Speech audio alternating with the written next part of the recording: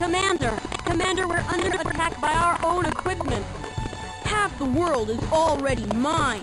San Francisco, New York, Buenos Aires, Rome, Vienna, Stockholm, Sydney, Singapore. It's all mine. Antarctica, Hotshot. He's in Antarctica. You've got to stop him.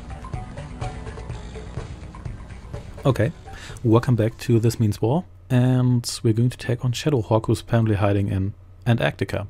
I, Shadowhawk, have assumed controls right now, Vulcans. Still can. I'm using the caps lock button so you know I'm important.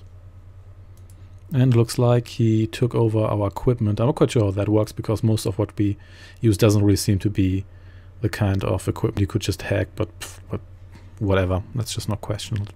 And Antarctica isn't even on this map. What a shame. So, welcome to Antarctica. This is another one of those missions where you have to build up stuff slowly, otherwise Shadowhawks is just going to take with his hovercraft and then you just lose. There's also this pink dot here, I'm not quite sure what's up with that. Anyway, Shadowhawk's HQ is here. It's ridiculously well defended, but we will punch our way through, but I'll, I'll, save you the build up because, I'm, to be honest, I'm getting tired of this. And it's going to take a long, long while until we have built everything up because we can't increase the game speed too much. So see you in a moment. So first we need some permanent income. So there's a mining spot here that's always there. But that's not that's not a spot we can go to right now. There's also one here. I don't know why we can't reach that. We can't build bridges here because there's rocks. But that's probably because it's randomized. So what we're going to do now is we're going to set this guy here into assault mode. But the problem with that is is that you can't set an, a rocket launcher into assault mode because they don't have the command for that, but you can use the hovercraft to to help out a little bit. The hovercraft will be destroyed, obviously.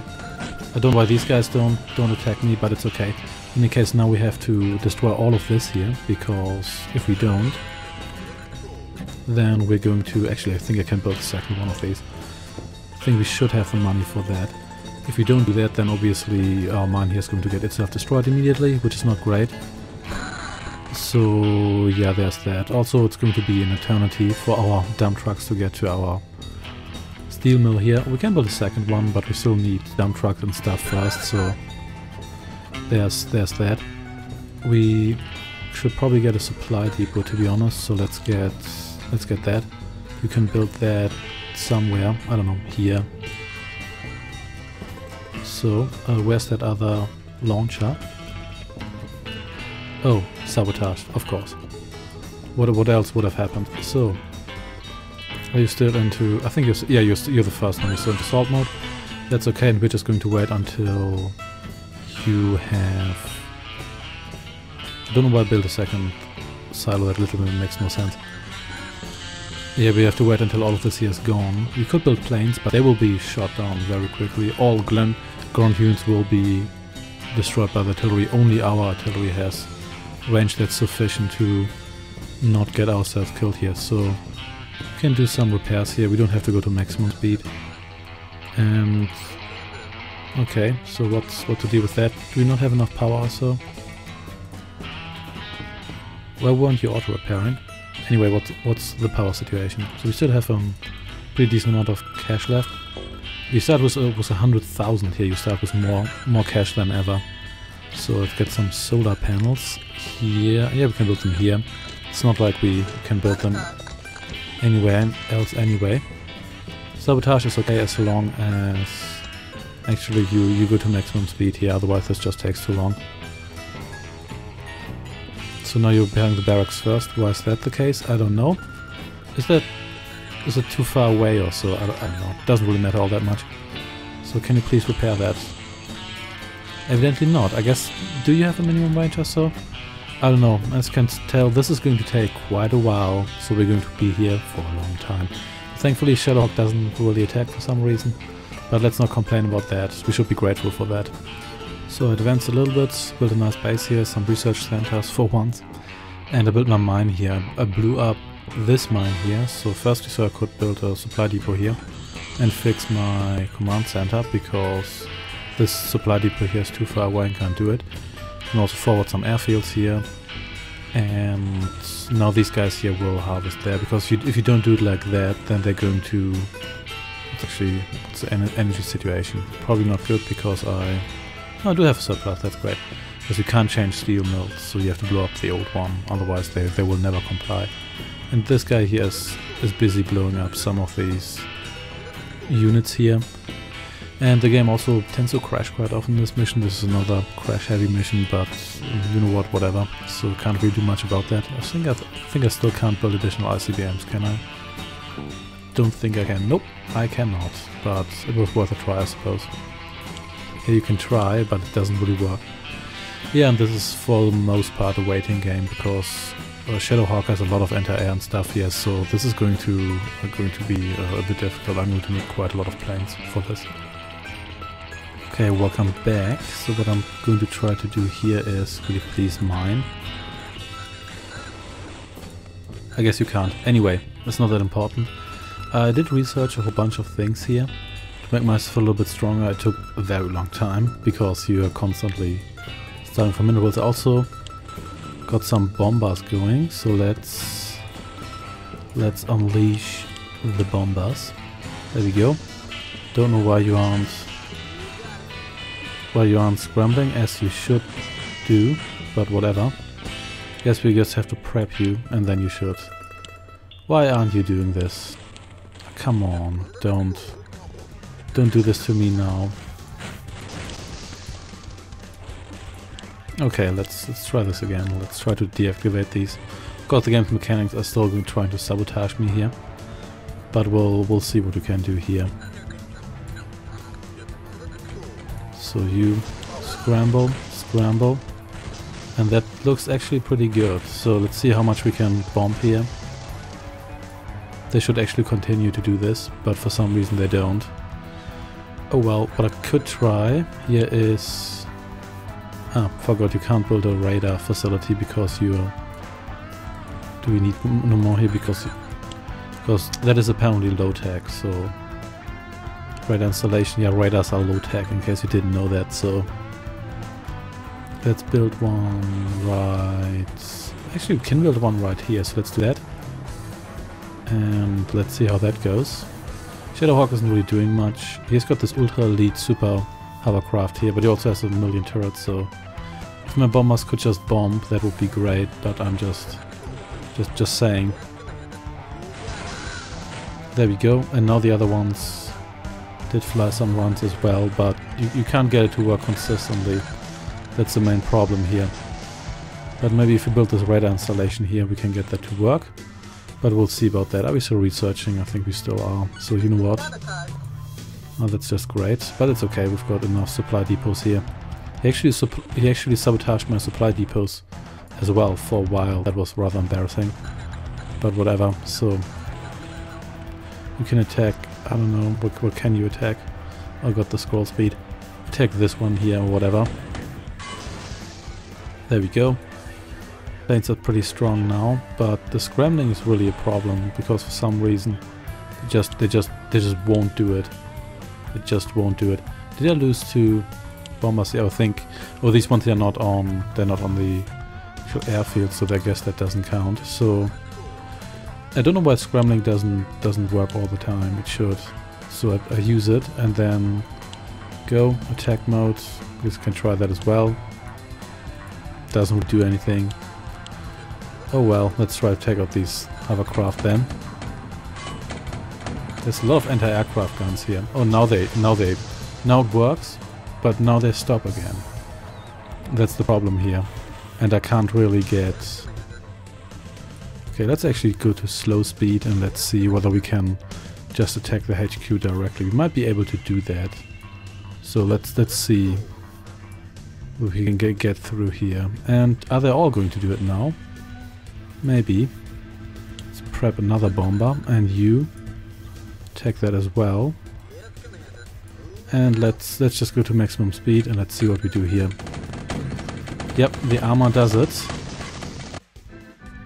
This is impossible. Sheldon Arthur Hawking III can't lose. You must have cheated. It's not fair. It's not fair. yeah, I won.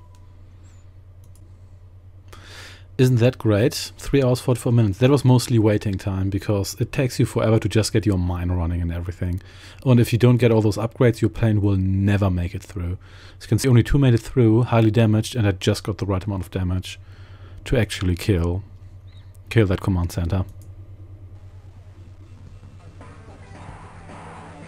Hey, hotshot! What does one say to the person who saved civilization from a madman? Congratulations just isn't enough. I'm just glad we could stop that little brat Sheldon. I hope his parents spank him for trying to conquer the world. And okay, Commander, I'll admit I was wrong about you. You've proven yourself time and time again. Did you know they've nominated you for the presidency of the Free World Alliance? Congratulations, Hotshot. Seems I remember a promise the General made to raise a cold one in Fells Point when this was over.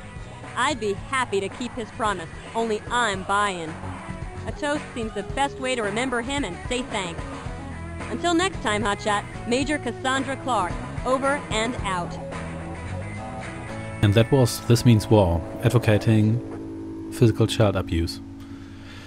And yeah, that's apparently it. We're going to go for a drink with Cassandra, and that's it. So yeah, all our heroes, the Sheik, Cassandra Clark, Shadowhawk, Clark again, Angry Sheik. Apparently there was produced by by Doug Kaufman. Isn't that great? Yeah, this game here is not great. It suffers from a ton of issues. Firstly, it's just way too complicated. All the menus, the select thing, the build thing, different mechanisms for building different things, it's way too complicated. The roads just bog everything down. And it's not really an excuse here, ah, this game is from 1995. This game is, in a lot of regards, worse than Warcraft, Dune 2 and a bunch of other games that came out earlier. So that's not really an excuse, because it should have taken a, a lesson there. The graphics, they look alright, they're not special, neither are the units. There are too many units that just get replaced by other units throughout the mission, for example. As soon as you have medium tanks, no reason to build light tanks. As soon as you have heavy tanks, no reason to build medium tanks and there's only very few units you actually need. In most missions, the game's also way too slow, building takes forever once you have burned through your initial cash. Getting resources is too complicated. Even If you have multiple mines, get, getting multiple mines to work is actually almost impossible, and you don't have a whole lot of options to get actually multiple mines in most missions anyway. So that's a different issue. So the game is just uh, way too way too slow in that regard. So here we have the photographed actors. So the Countess is Naomi Anise. Got John Gills here. Napoleon is Sarko. It's just just Sarko. Who's Sheldon? Michael Silverstone. Okay.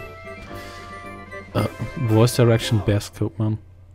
The voice I'm good. The general quality is relatively low even for its time again and the all-American generic soldier squadron. Oh wow, yeah. The game also tries to be funny. It's it's not really. It just feels kind of tacky and slightly embarrassing. There's that, and yeah, the, the game's speed is too slow. In the majority of missions, it's just possible to rush the game or rush the mission with just your initial units, or just quickly spam some units and rush. And if you don't do it, a lot of missions take you absolutely forever to get anyway. Also due to the aforementioned uh, resource issues, you also just need too long to get anything done. So they often start with too many too many buildings you have to build. So you oh so you want to build some units? Okay, I need a factory for that. Okay, you need power for that. For that you need population. For population you need farms. For farms you need money. For money you need the mine. For money you need the roads. For that you need dump trucks. For that you need a factory it's just not really fun and it seems that you don't really gain much by building those buildings and it feels more like you just build buildings so you actually get to the part of the mission where you can have a little bit of fun. Oh well, apparently they had a military advisor for this game here, isn't that great? So, is that it or are the, the credits just going to loop forever? Not quite sure about that, but we'll see. I mean, they could have done something with this game, so the general idea of like having this work character isn't bad. They could have made it campaign instantaneously uh, by making it more like say Red Alert 2, but they didn't really do that either. So overall, I cannot recommend this, and it's difficult to get this game running unless you run it in under something between Windows 3.1 and maybe Windows uh, 2000 or 1998. So yeah, skip over this. One advantage to this being uh, a Windows 3.1 game is that you can adjust the window freely, so you can run it in widescreen. In fact, it runs in pretty much every resolution. You can run in 4K if you want. Not that any maps are actually large enough to support that. In fact, most maps are so small. You have one third of the maps your enemy base, then another third is your base, and then you have a little bit of space in between so same pictures, same time. That's that's some good good work there. Um, and yeah, that's essentially it. That you that the maps are too too small. There are almost never any features, and for the most part, the features are just some obstacles. None of the maps are interesting. Interesting. They are as barren as the Dune 2 maps, which had better reason to be barren, and they are less interesting than the Warcraft and Command Conquer maps. Again, real-time strategy game preceding this one here, and frankly, playing this game was exhausting. Anyway, that's it from me. Thanks for watching. We saved the world. See you next time. TaxOwlbear out.